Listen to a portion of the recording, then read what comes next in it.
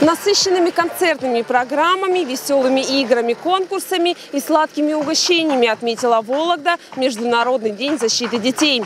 Праздники прошли практически во всех районах города. О том, какие подарки получили маленькие волокжане 1 июня, расскажет Алена Закатаева.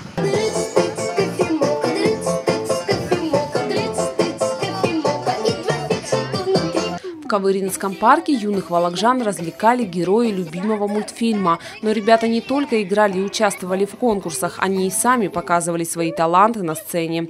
На торжество в Дня защиты детей были приглашены все жители микрорайона. Организаторы, а это Центр по работе с населением и депутаты городской думы, проследили, чтобы в каждый почтовый ящик была доставлена программа праздника.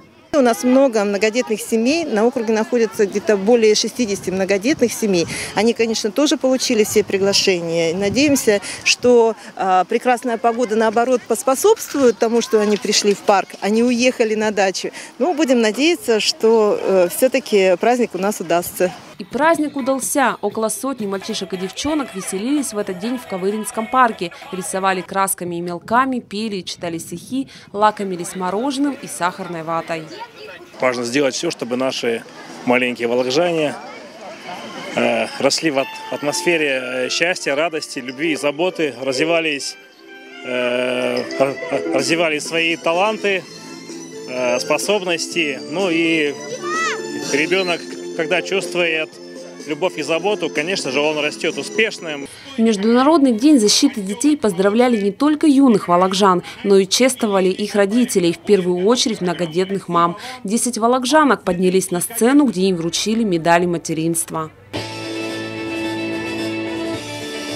У Жанны Поповой пятеро детей, четыре сына и дочка. О такой большой семье никогда не думала, призналась многодетная мама. Хотела одного или двух, но так сложилась жизнь, и она об этом нисколько не жалеет. Рождение ребенка – это всегда счастье. Это, это не пересказать. Когда даже носишь, это, это все, это заполняет женщине, меняет ее как бы по-разному.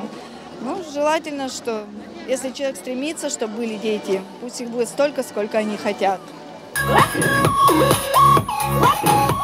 Международный день защиты детей в Вологде праздновали более чем на десятки площадок в разных микрорайонах города, в том числе и в Страсбургском парке. Это любимое место отдыха волокжан в районе льнокомбината. Депутат Вологодской городской думы Михаил Зарецкий совместно с представителями Центра по работе с населением постарался организовать для ребят развлечения на любой вкус.